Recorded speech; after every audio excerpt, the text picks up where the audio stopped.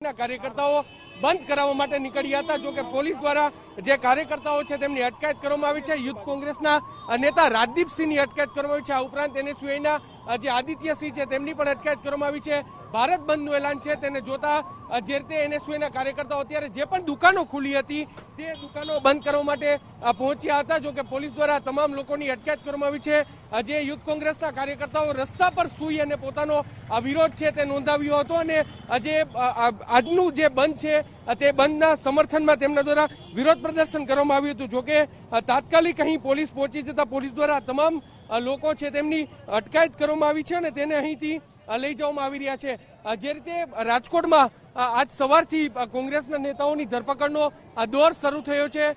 Youth જે રીતે રાજકોટ શહેર કોંગ્રેસ પ્રમુખ અશોક ડાંગર, આ ઉપરાંત જે મહિલા કોંગ્રેસના પ્રદેશ પ્રમુખ ગાયત્રીબા વાઘેલા, આ તમામ લોકોની અટકાયત પોલીસ દ્વારા વહેલી સવારથી કરવામાં આવી હતી અને ત્યારબાદ અત્યારે રાજકોટના જે યુનિવર્સિટી રોડ છે, ત્યાં એનએસયુએ અને યુથ કોંગ્રેસના કાર્યકર્તાઓ નીકળ્યા હતા. ત્યારે તેમની પોલીસ દ્વારા અટકાયત કરવામાં આવી છે. રાજકોટ શહેરના અલગ અલગ વિસ્તારોમાં પોલીસનો ચુસ્ત બંદોબસ્ત છે અને કોઈ પણ રીતે જે બળજબરીથી બંધ કરવામાં ન આવે તે દિશામાં પોલીસ દ્વારા આ પ્રયત્નો કરવામાં આવી રહ્યા છે અને પોલીસ દ્વારા રાઉન્ડ ધ ક્લોક પેટ્રોલિંગ પણ કરવામાં આવી રહ્યું છે. જો કે અલગ અલગ વિસ્તારોમાં અલગ અલગ રીતે કોંગ્રેસના કાર્યકર્તાઓ છે આ બંને સફળ બનાવવા માટેના પ્રયત્નો કરી રહ્યા છે. જરૂરથી એક વેપારીઓ છે તેમાં એક એક માહોલ છે તે જોઈ શકાય કારણ કે બંધનું એલાન છે અને તેવા સમયે જે લોકો પોતાની ધંધા રોજગાર છે તે ખુલ્લા રાખી રહ્યા હતા. તે હવે બંધ કરવા જઈ રહ્યા. આપણે કેટલાક વેપારીઓ છે તેને તેને પૂછશું. શું કહેશો આ બંધનું એલાન છે આજનું?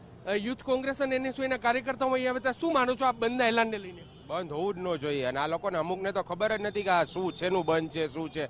કાલે બી એ લોકો આવેલા હતા.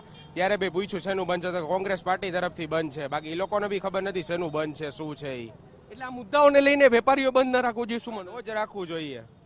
સ્પષ્ટપણે બીજા કેટલાક લોકો તમે શું માનો છો જે રીતે આજે બંધનું એલાન છે? કઈ રીતે જુઓ છો આને? હવે આમાં તો સ્વૈચ્છિક રીતે જે બંધ રાખે છે એને રખવાય. બાકી તો આ જબરજસ્તીથી એ ખોટું છે.